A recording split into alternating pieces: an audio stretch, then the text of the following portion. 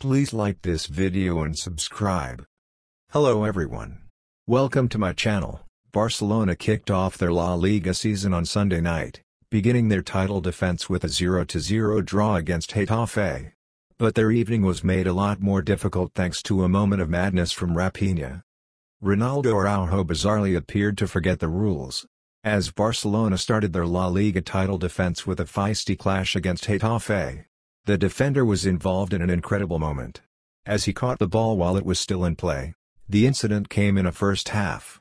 That also included a red card for Barcelona winger Raphinha. The former Leeds man was dismissed for throwing an elbow at Gaston Alvarez. But a goalless first half will be largely remembered for Araujo's moment of madness. A long pass was played wide to the Uruguayan. But it appeared to be sailing high over his head. The 24-year-old reached up, and caught the ball with both hands.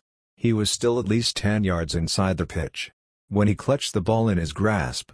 So what do you guys think? Please like this video and subscribe.